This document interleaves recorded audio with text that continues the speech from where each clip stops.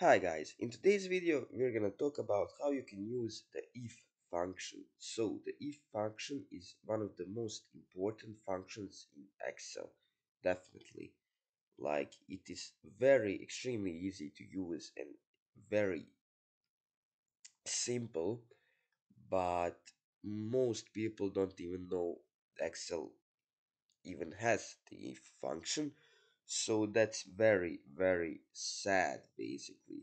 So what we're gonna do is we have a little table here with items and quantity.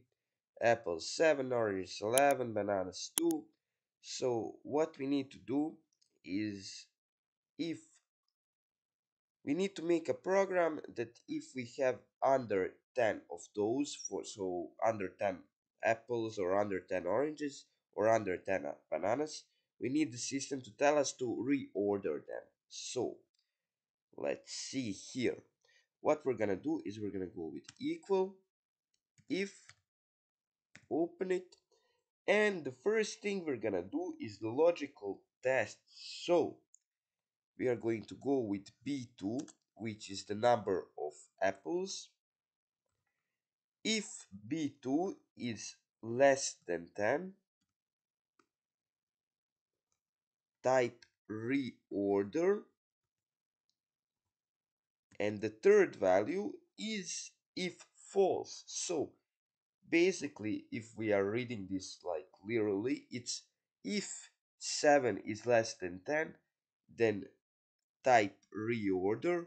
If not don't type anything. Basically blank.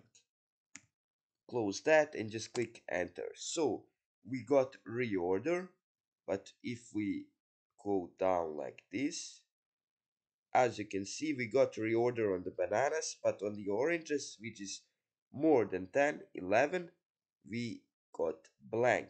So that's basically how you use the if function. Thank you guys for watching today's video and i hope i see you in the next one. Bye